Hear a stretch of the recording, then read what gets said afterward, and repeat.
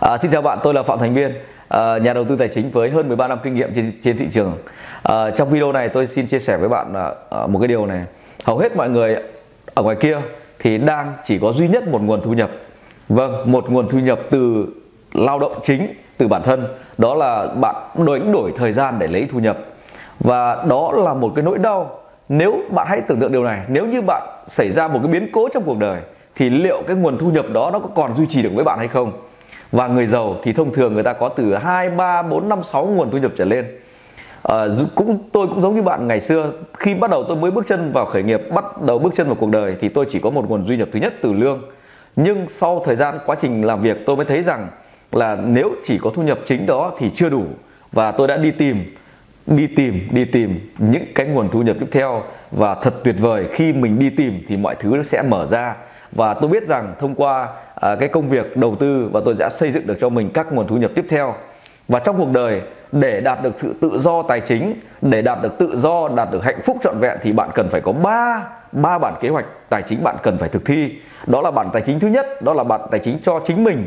Làm thế nào để thực thi bản kế hoạch đấy xong 3 đến 5 năm sau bạn được tự do hoàn toàn bản kế hoạch tài chính thứ hai là bản kế hoạch tài chính cho con bạn, cho những đứa con thân yêu của bạn. Để làm thế nào để khi con của bạn đã đến 18 tuổi thì bạn có một nguồn ngân sách để giúp cho các đứa con tuyệt vời của mình có thể học được bất kỳ trường đại học nào nó muốn, hoặc nó có thể dùng cái nguồn tiền đấy để nó khởi nghiệp. Và bản kế hoạch tài chính thứ ba, đó là bản tài chính cho người sinh thành ra bạn.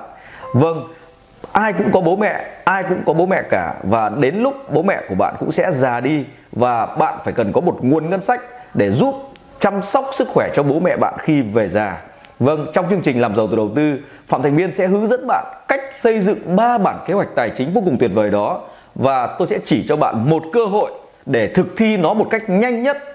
Nhanh nhất. Vâng, có thể là 3 năm, 5 năm và bạn làm và sau đó ba bản kế hoạch được thực thi, được hoàn thiện, bạn có một nguồn ngân sách cho giúp cho chính bản thân mình được tự do, có một nguồn nguồn ngân sách cho con em của bạn và một nguồn ngân sách cho cha mẹ của bạn. Lúc đó cuộc sống của bạn thực sự là hạnh phúc thực sự là tự do.